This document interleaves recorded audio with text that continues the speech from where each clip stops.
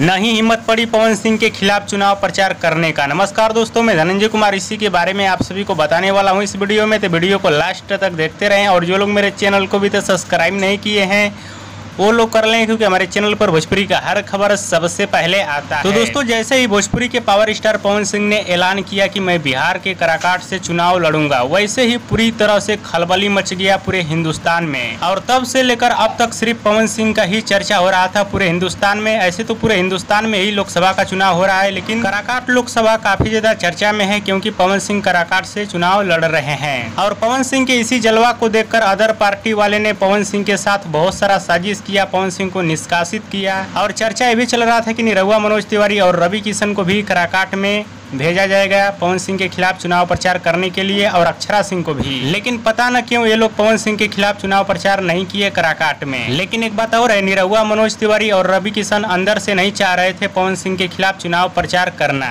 और हाल ही में मनोज तिवारी एक इंटरव्यू में बोले की, पवन मेरा छोटा भाई है और मैं अपने छोटा भाई के खिलाफ चुनाव प्रचार नहीं करूँगा। हाँ तो दोस्तों, कुल मिला जुला कर बहुत ही अच्छा हुआ भोजपुरी के पावर स्टार पवन सिंह के खिलाफ ये लोग चुनाव प्रचार नहीं किए। और करना भी नहीं चाहिए क्योंकि पवन सिंह ने इन लोगों का खूब प्रचार किए हैं। बाकी कल अंतिम चरण का मतदान होने वाला है और आप लोग मतदान अवश्य करें। बाकी आप सभी को क्या लगता है? निरहुआ मनोज तिवारी और रवि किशन पवन सिंह के खिलाफ चुनाव प्रचार क्यों नहीं किए? हमें नीचे कमेंट बॉक्स में ज़रूर बताइएगा और हमारे इस वीडियो को आप लोग पूरा ज़रूर देखिएगा। वीडियो पसंद है तो ज़्यादा लाइक करें कमेंट करें शेयर करें सब्सक्राइब करें। धन्यवाद दोस्तों।